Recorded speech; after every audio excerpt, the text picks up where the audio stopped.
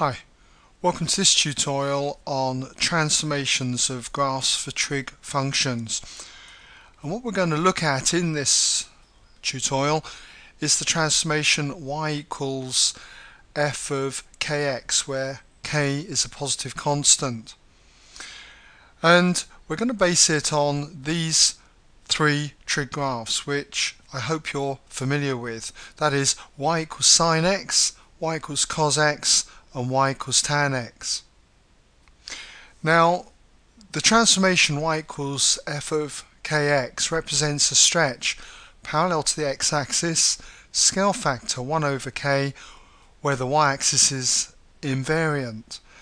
That means that any points on the y-axis stay put, they don't move. Now first of all what I'm going to do is we're going to look at the graph of y equals sine x. So if we took the graph of y equals sine x, I've made f of x the sine x. You should be familiar with the graph. There you go, the graph of y equals sine x. A wave that goes between minus 1 and 1. And I've drawn this graph going from minus 360 degrees to 360 degrees. So what happens then if we took this graph? y equals f of 2x. That is, we replace the x in sine x with a 2x, so we get sine of 2x.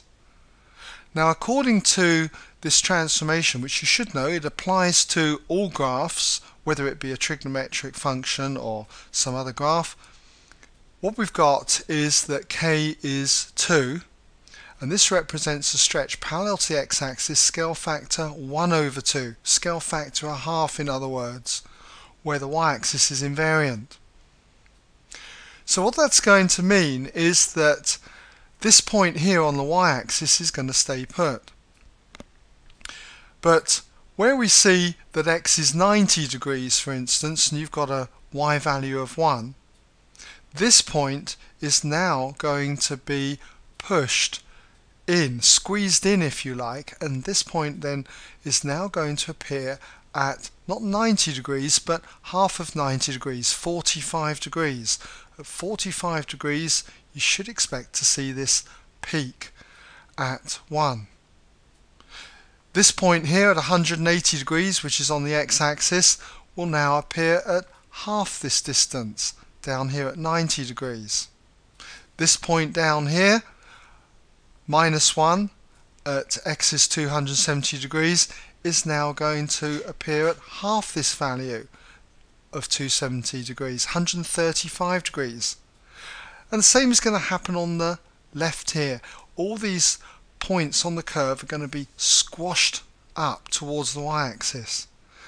And it's best seen if I just draw this graph for you. Here it is, okay? And you'll see what I was hopefully trying to explain to you. That this point here at 90 degrees, y was 1, it's now still at 1, but it's occurring at half this distance, at 45 degrees.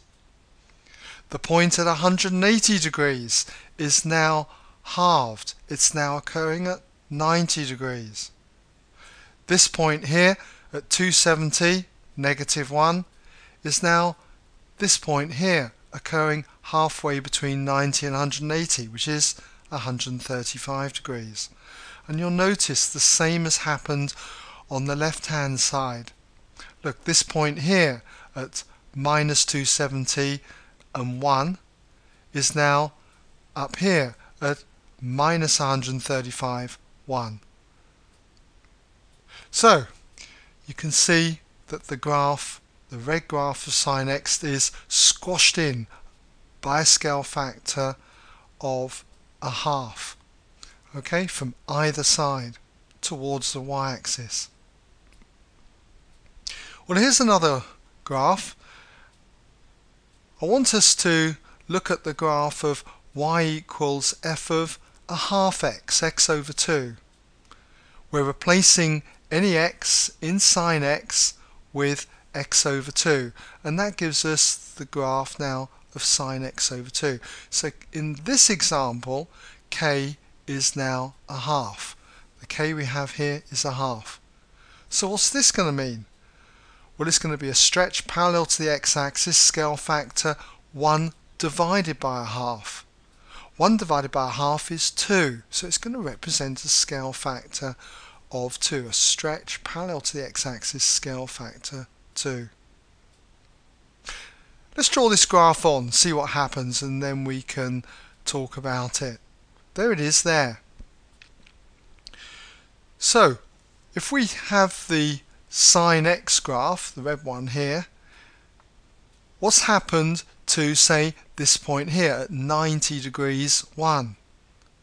It's been stretched by scale factor 2. So instead of being 90 degrees out, we double that, and that peak of 1 is occurring at twice 90, which is at 180 degrees. There's the peak of 1. And the sine x graph cut the x-axis here at 180 degrees. But in this example of the sine of a half x, we double that and double 180 degrees, you get 360 degrees and you can see it's zero. So we're pulling this part of the sine x graph out. We're stretching it by a scale factor of 2. This part of the graph would carry on underneath here and it'd be a lot longer. Okay? Stretched out. And look what happens on the left hand side. It's this part of sine x which gets stretched out by a scale factor of 2. This point at minus 90 minus 1 now occurs at minus 180 minus 1. And where it intersected the x-axis at minus 180, it's now pulled out by a factor of 2 to minus 360 degrees. Okay, well I hope that's given you an idea of how this transformation y equals f of kx works. What I'm going to do now is we're going to look at the graph of y equals cos x and I'm going to leave you with a few sketches to draw. Okay, well here we have the graph then of y equals cos x, f of x being the cos x. You should be familiar with the graph, okay? As you can see it goes from minus 1 to 1 and crosses the x-axis of minus 270, minus 90, 90 degrees and 270 degrees. Now, what I'd like you to do is to try and sketch the graphs then of y equals f of 2x, that's replacing the x in cos x with a 2x, and also to sketch the graph of y equals f of a half x. That gives cos of a half x or x over 2. Okay, so you might like to pause the video and come back and we'll just run through this. Okay, welcome back if you've had a go. And let's now look at this first graph, the cos of 2x. K is the 2, and that's going to mean that this represents a scale factor of 1 over 2 a half. So it's a stretch scale factor a half parallel to the x-axis. So this curve is going to be squashed in if you like by a scale factor then of a half. And what should you have got? Well, you should have got a graph looking like this. So you can see that on the original graph, let's take, say, this point here at 180 degrees minus 1, it's now squashed in to this point. It was originally 180 degrees out. Scale factor half means that it's now at 90, half the 180, giving us the 90, and it's now at minus 1. And look at this peak here, okay? This came from this peak up here. The cosine x graph peaked at 360 degrees, it was 1. Now if we halve that, we get 180 degrees, still peaking at 1. The same happens on the left hand side here, okay? This point here at minus 180, negative 1, now is squashed in to minus 90 degrees and at minus 1. And hopefully you can check out all the other points. And with this one, y equals f of a half x, cos of a half x, hopefully you got this graph. Pulled out by a scale factor of 2 because remember k is a half 1 divided by a half is 2 so I've pulled the original graph of y equals cos x out by a scale factor of 2 remember the y-axis is invariant so points on the y-axis stay put this point here at 90 degrees got pulled out by a factor of 2 to this point this point down here at 180 degrees minus 1 gets doubled to 360 degrees minus 1 and the same applies on the left hand side here. Okay, well that's cosine x and its transformations when we look at y equals f of kx. So what we've got to look at now is the graph of y equals tan x and again I'll give you a few to do here.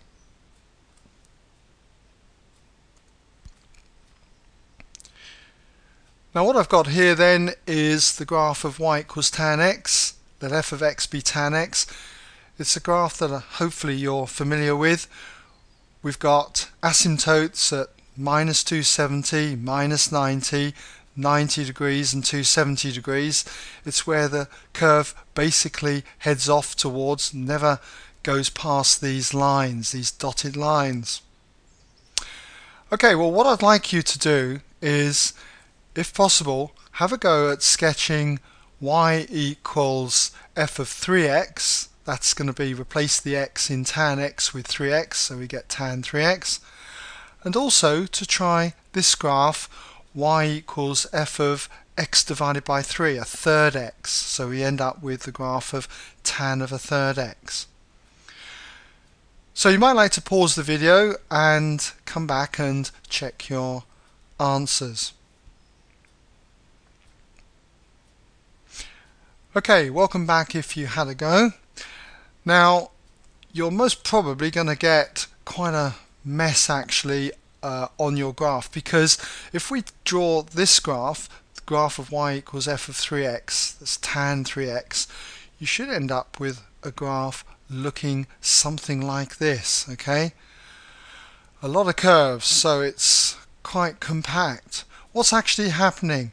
Well, the k value is 3, so that means that we've got a stretch of scale factor parallel to the x-axis scale factor 1 over 3, a third. So everything gets bunched up towards the y-axis by a scale factor of a third. So take for instance this part of your curve, okay, on y equals tan x. It still goes through the origin, but we've now got this part of the curve instead of this part of the curve.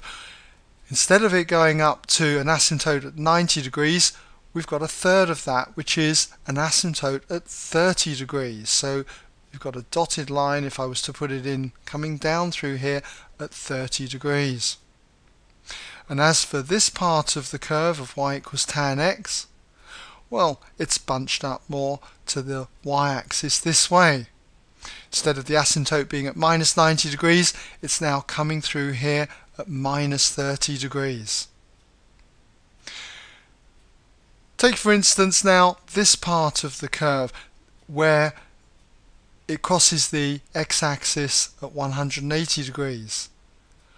We've now got a third of that and that's 60 degrees. So you're looking at really this part of the curve through here okay, which corresponds to this part of the curve. I hope you can see that. And as for this part of the curve, well, it is now this part down here, okay, bunched up. And you've got this repetition throughout the graph.